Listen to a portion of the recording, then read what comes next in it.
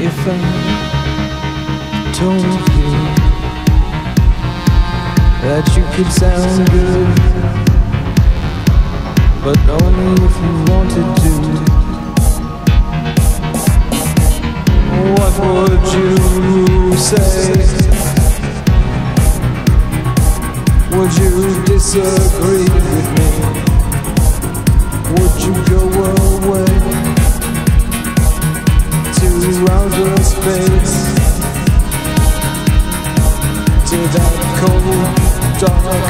distance Beautiful place